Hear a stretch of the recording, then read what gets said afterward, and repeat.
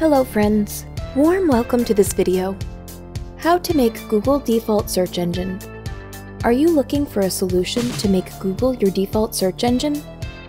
In this video, we will learn to make Google a default search engine in two web browsers. Follow the easy steps as shown in this video. Open the Microsoft Edge web browser.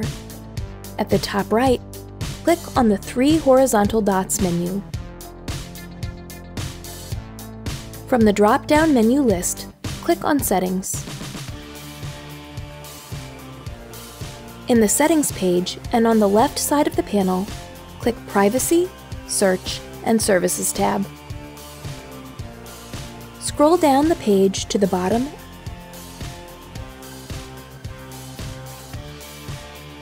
and click on the last option of the address bar in search. In the search engine used in the address bar, section, click on the drop-down and select Google from the list. This will make Google the default search engine in the Microsoft Edge web browser. Close the Microsoft Edge. Let's open the Firefox web browser. At the top right, click on the three horizontal menu lines. Click on the Settings option from the drop-down list.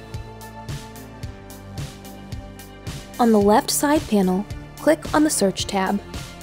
In the Default Search Engine section on the right side, click the drop-down and select Google from the list. This will make Google the default search engine in the Firefox web browser.